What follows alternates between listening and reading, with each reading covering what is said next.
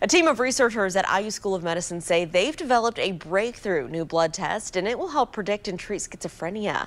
WRTV's Jessica Grenling live from IU School of Medicine. And Jessica, this could really help change the lives of people who are diagnosed with schizophrenia.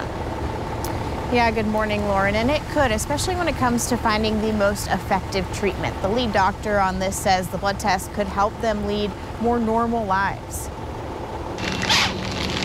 These IU researchers are packing blood samples and getting them ready to be sent to a lab. This schizophrenia blood test came out of those uh, long-term studies that we were doing. And Dr. Alexander Niculescu have a biomarker panel at the oh, market. You can have biomarkers there and use the R-script for prediction. Has been working on this for decades. The test identifies biomarkers in a person's blood that can objectively measure either their current severity or future risk for schizophrenia.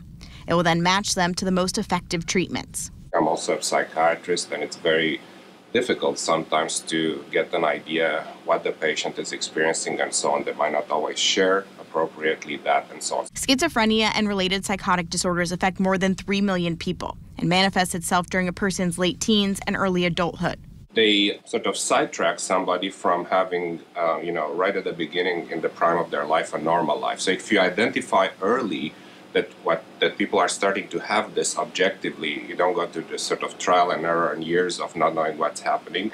You can essentially treat them well and have you know nip things in the bud, or at least have sort of a chronic manageable condition like diabetes and they do well and so on. And for Niculescu, after years and years of research, he's happy to have something concrete.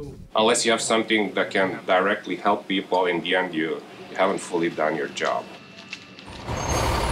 And now this will be available later this year on a small scale. The goal is to get the blood test to a point where it is covered by Medicare and insurance so that everyone has access to it.